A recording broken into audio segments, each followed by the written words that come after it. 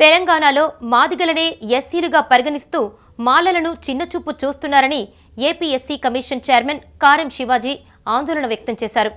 Karimnagar press భవన్లో తెలంగాణ మాల మహానాడు రాష్ట్ర స్థాయి సమావేశానికి ఆయన ముఖ్య అతిథిగా హాజరై ప్రసంగించారు. తెలంగాణ రాష్ట్రంలో ఎస్సీ సంక్షేమ పథకాలన్నీ కూడా మాదిగలకే అందుతున్నాయని ఆవేదన వ్యక్తం చేశారు.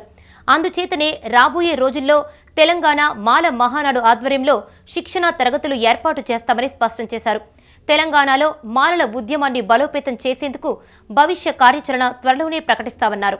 తెలంగాణ రాష్ట్రంలో ఎస్సీలంటే కేవలం మాదిగల్ని పరిగణిస్తూ మాలను చెల చూపు చూస్తున్నారని చెప్పేసి సభ చాలా ఆందోళన వ్యక్తం చేసింది.